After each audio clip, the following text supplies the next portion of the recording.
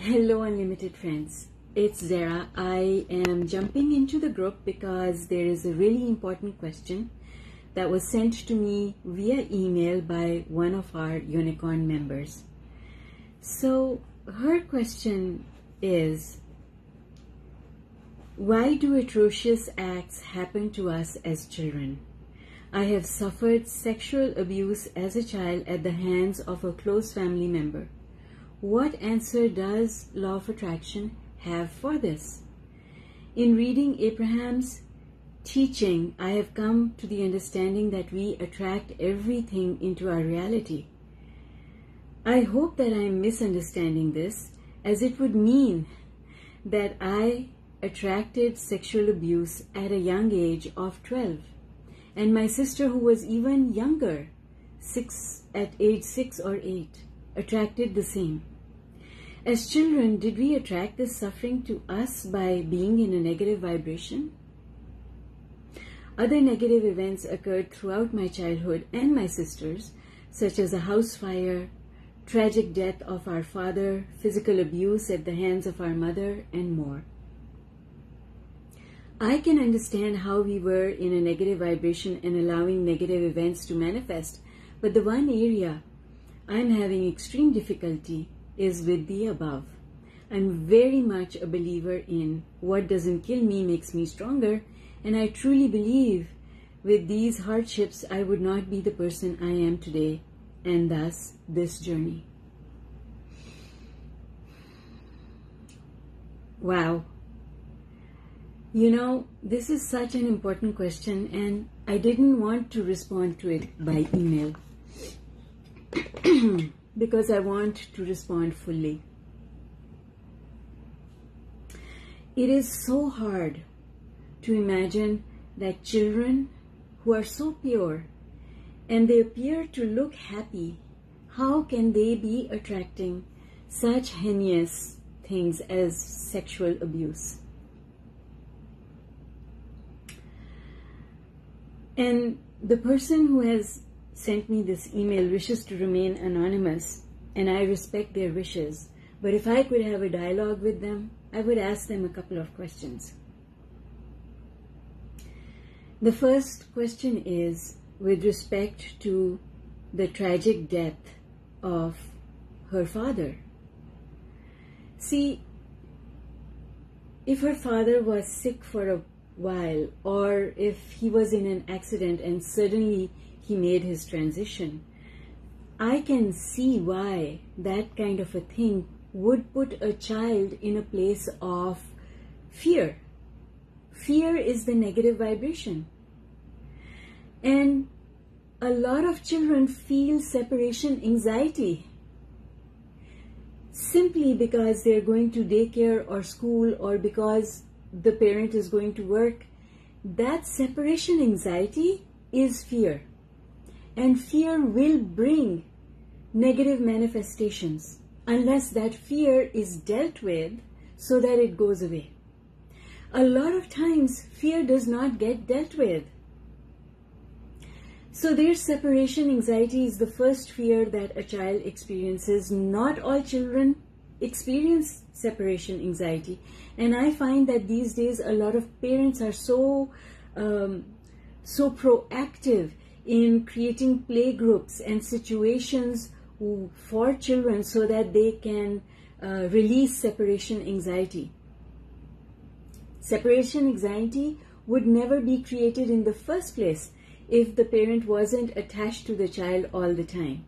Some parents carry the child around, take it everywhere they're going, and feel responsible for entertaining the child, and that is what creates separation anxiety.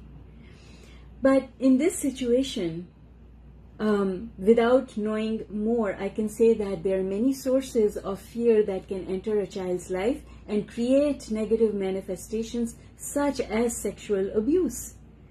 Because if a child is on the vibration of fear, then the child will attract outcomes that magnify that fear. So the first fear is separation anxiety. Then the second fear is that children are taught not to trust. Don't trust strangers.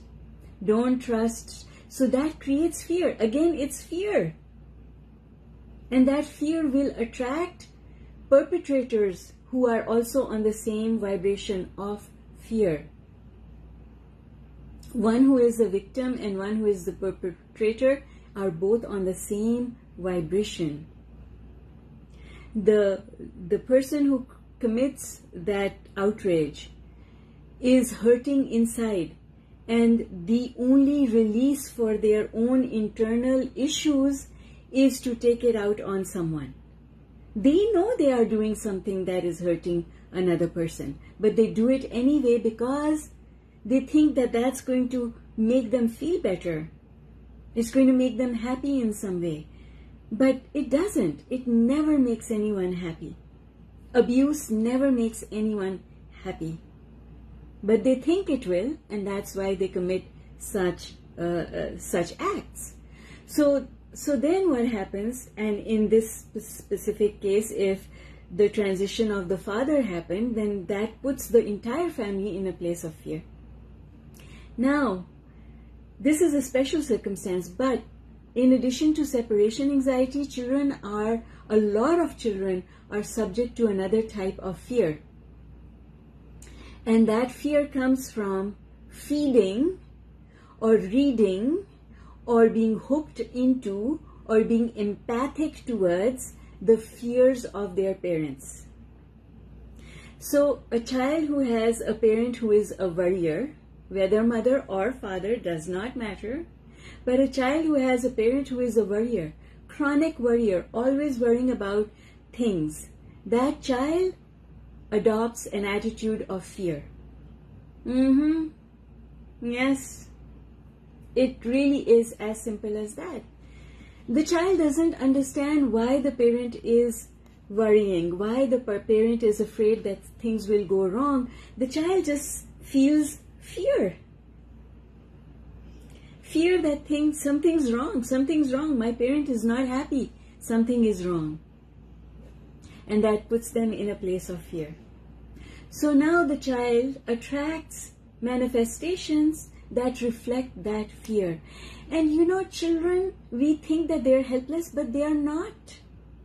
Because children are born with the ability to shift their vibration. Children are born with the ability to make a decision about feeling better.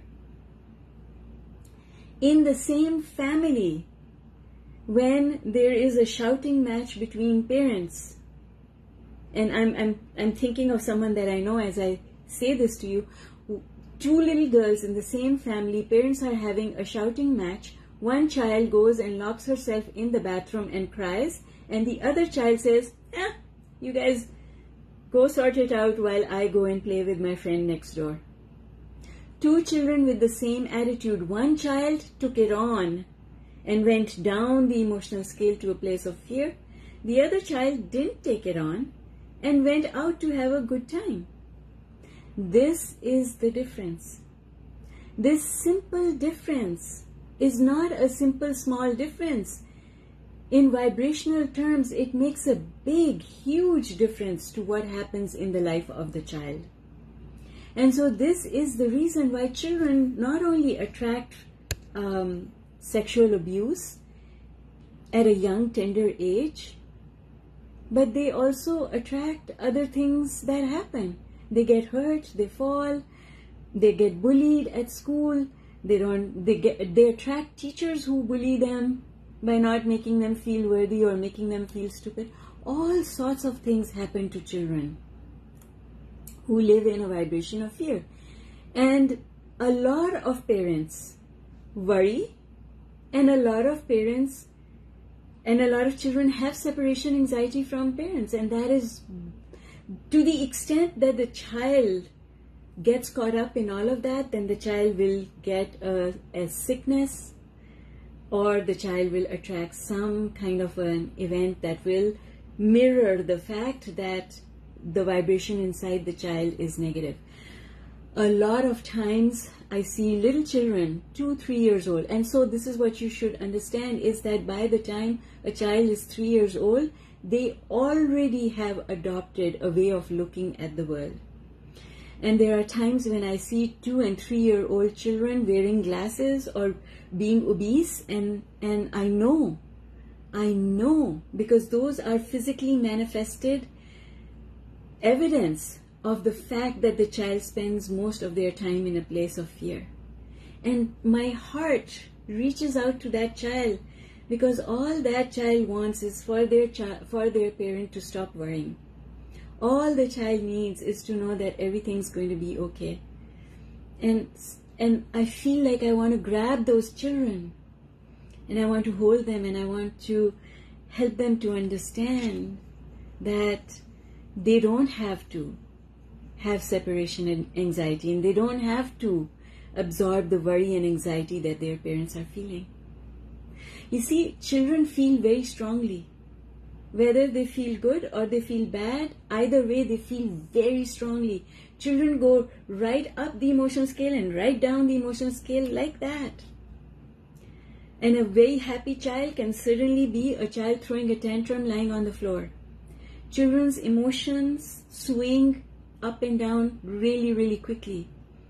And they allow that swing to happen.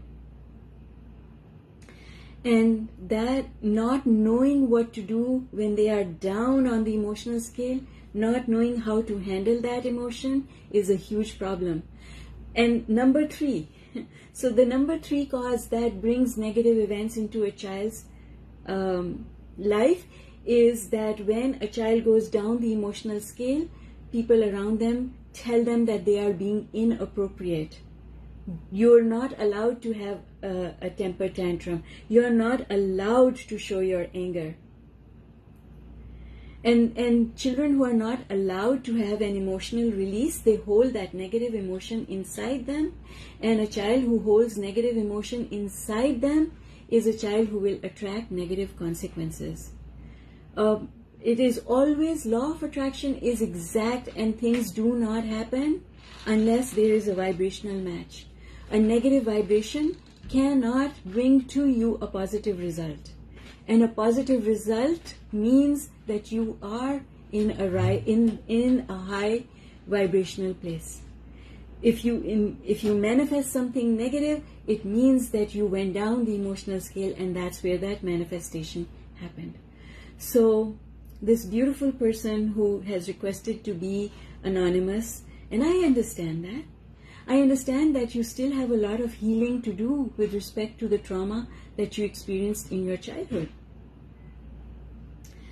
But law of attraction is exact and if you're going to use law of attraction effectively, you have to understand that nothing happened to you in your childhood that you did not create. But you didn't create out of awareness. You did not create deliberately. You created those things in your life because you didn't know any better. Nobody taught you, and you didn't remember from when you were born. And it's okay because you can change all of that and you can get control over your life and you can let go that trauma. Don't let that trauma determine your future. Don't let what happened in the past be the thing that determines what will happen in your future because the future is totally and completely under your control. All right, I hope that this helps and I love that you ask the question because when you ask the question, you move forward. So I am proud of you. I love you so much. I know the trauma, I understand the trauma that you've been through. And I have been through abuse as well. And I understand that trauma, but you gotta let it go if you're going to create a better life. And you, if you have children, you gotta let it go because your children will feed on your anxiety. Your children will feed on your fear. And we don't want that. So I'm going to close the call just now. Love you lots. And I'm here to answer questions. Bring on those questions. Bye for now.